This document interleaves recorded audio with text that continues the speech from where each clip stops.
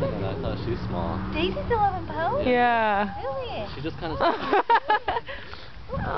Like, I found a safe, safe spot.